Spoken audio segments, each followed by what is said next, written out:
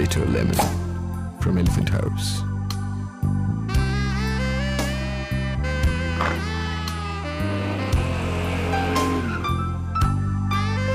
Bitter Lemon, for members only.